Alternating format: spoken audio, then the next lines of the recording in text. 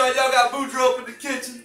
About to show y'all a little bit of Cajun coon ass cooking, cause uh, this is how we gonna do it. We gonna throw down. Got my little lucky short bus ninja skill bandana on. You know, that's how we do it down in Louisiana. Gotta have that little Louisiana status. Can't keep calm cause I'm a Boudreaux, baby. That's how it goes. Well, I'm gonna sit here. I'm gonna take a little bit of deer shoulder, you know, season it up a little bit. I got my onions, turnip, garlic, jalapenos, bell peppers, corn, asparagus. So, got the black pot. You ain't cooking real Cajun food if you don't have a black pot. Just letting you know. And if you ain't burning, you ain't earning no type of gravy, baby. So, that's how we're gonna do it. We're gonna show y'all how to throw it down in this kitchen tonight.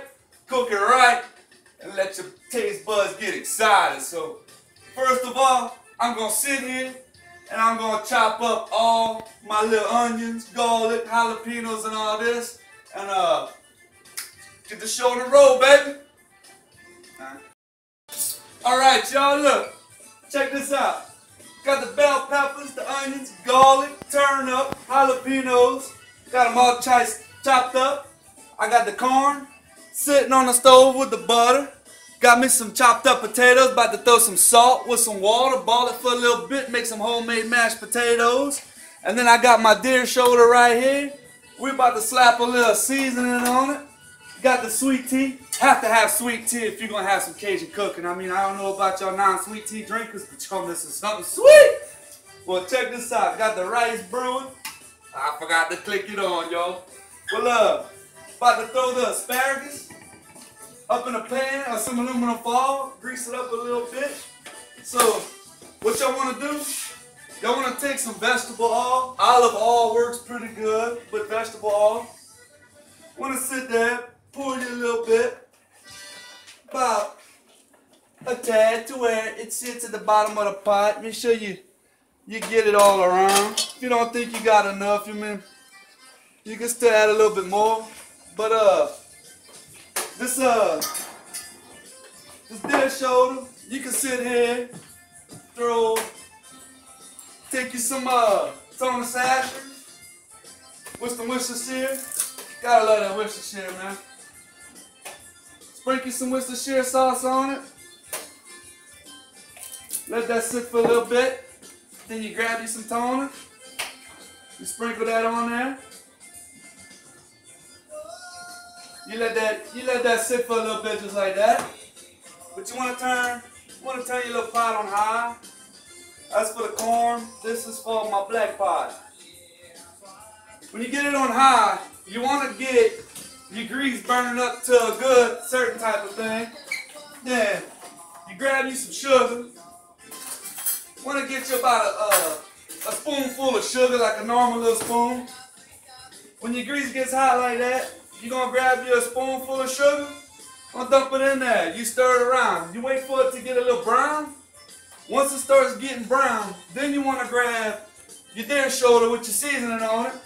Sit there, dump it in the pot. You brown it, you brown it, you brown it, you brown it, you brown it real good. You brown it real good. Then uh, after that, you're gonna see how it goes down in the kitchen. You know, this is Boudreaux's Cajun Coon Ass Cooking. I don't know what else to, uh, to tell y'all, but we're about to have them crescent rolls placed in once the meal's almost done. I'm telling you. Uh. Grab your, uh, your spoonful of sugar. You wanna put it right in the pot. You know? You get it going. You get it? Want to stir it up in there real good, man. You make you make that that gravy sweet. Just like that. You let that sugar turn brown.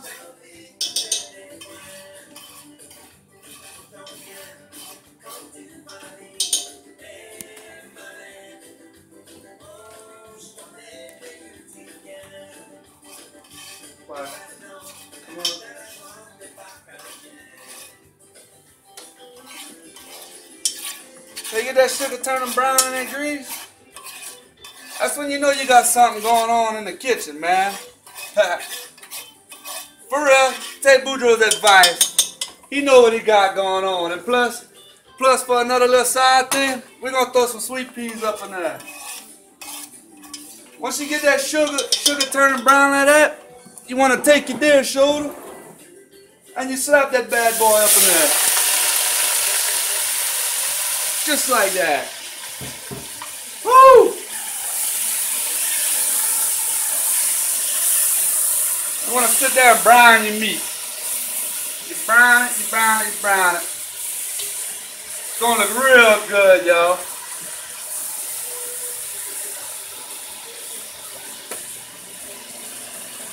Ay, ay, ay, tikrat. Quadro. Don't know about that, bro. That's how you get it done. Make sure, make sure you keep getting it. Let that meat brown, man. Let that meat brown. All that, that, uh, that vegetable oil with that sugar and that meat with the toners. Whenever it browns like that, man, it, make, it makes a real good, phenomenal taste. And that's not even without adding the bell peppers or onions yet. And I mean, phew. Once you get once you get your meat browning, you set it good. And it's, it's gonna get down there. If you look real good, you could already see that gravy. Look. That gravy turning brown like that. Yo! I'm gonna show you how it's done. Gravy, you get that gravy looking brown, brown, brown, brown, brown, brown, brown, brown, and it's good. All your meat's brown. Wanna take, wanna take your uh, diced up onions? Wanna toss them over there like that. Boom. You get that all mixed up in there. Then you're gonna take your diced up bell peppers. Toss it in there like that. Me, I don't like to take measurements. I don't like to do nothing. I just go with my little natural coon ass instincts. I just put whatever. And it always seemed to work for me, but people, it's different strokes for different folks. That's all I can say. Then I got my garlic. Garlic, I like to throw my garlics up in there. Give it a little taste. And just to let y'all know out there, the reason why I throw sugar inside my grease before I add my meat to brown it, it kind of tenderizes the meat, so it makes the meat phenomenal, is what it is. A lot of people think, oh, it could make my gravy sweeter, you know. Yeah, it does that a little bit, but really tenderizes the meat. I see, you know, kind of have a little rock and roll with it. Like to take a little bit of turnip. Everybody to turn up, especially when you're on party down south, cooking with the taste buds jumping out your mouth. But I don't know how to do that, you know. I like to throw a little bit of jalapenos in there, just to throw it. Fresh jalapenos diced up, about a one and only. Wild, loud Boudreaux, baby. So, that's how we gonna do it. But, tell y'all this, I'm gonna grab this asparagus right here. This asparagus. Like to take you some aluminum foil. You wanna take your asparagus and cut your tips. When you get it, you take your tips, slice them off. One maybe about an inch, half an inch. You take them and you place them. Kind of want to build you a little boat. Because what you want to do, olive oil works pretty good with black pepper and butter. And you take that, you put it all in there. You want to set your oven to about 425. And you want to ball it up. Close it up like you was trying to smother something with aluminum foil. You set that in the oven and you let your asparagus cook and all them juices and stuff. It gets to rolling and out of control, see? But to tell y'all more of the story, this food is gonna be phenomenal. Catch that Boudreaux's coon ass Cajun cooking, the wild lifestyle partner. Alright, y'all wanna take some vegetable oil? You kinda wanna sprinkle it on your asparagus like that. Make sure you get it all caught up. Then you can take some lemon pepper. I prefer lemon pepper. I like I like a little bit of lemon taste to my stuff. Sprinkle a lemon pepper on there. Shoo. Sprinkle some lemon pepper on that, that asparagus. You want to mix it all up. Make sure it gets all over there.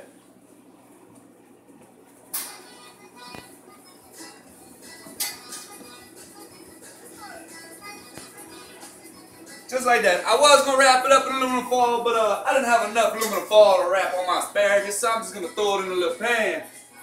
And another thing y'all like to do, I like to do, throw a little bit of butter in here.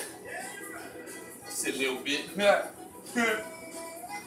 I didn't stutter when I come to use that butter.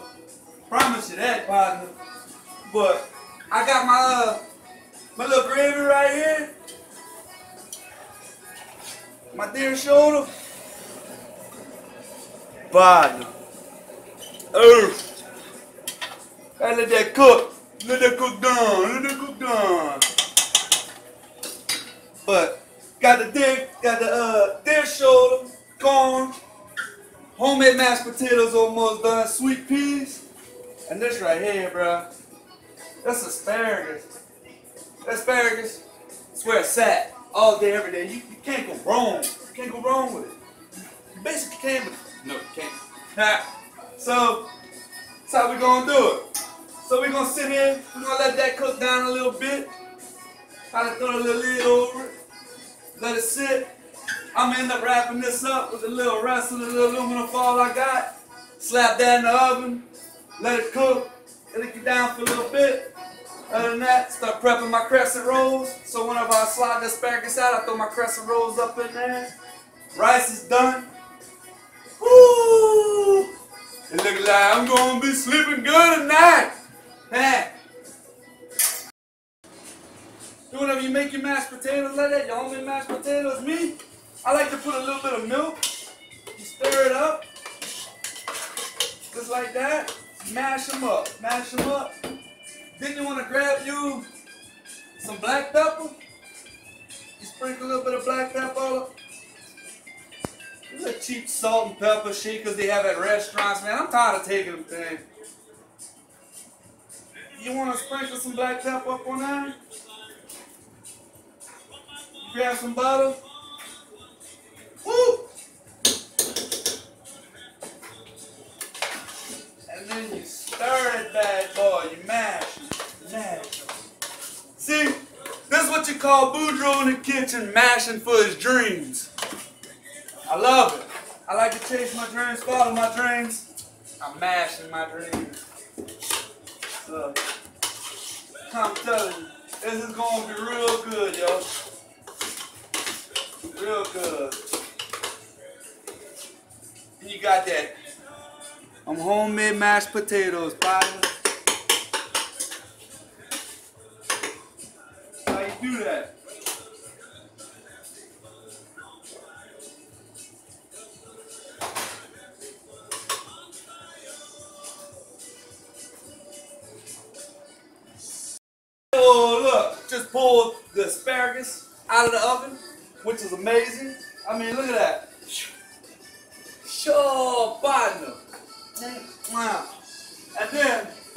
Once all said and done, you got that Boudreaux's Cajun coon ass cooking.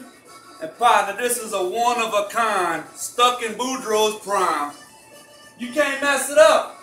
I'm saying you can't beat that with a stick. So how y'all love it? Nice meeting with y'all. Y'all stay tuned for Boudreaux's next cooking show on the go, baby.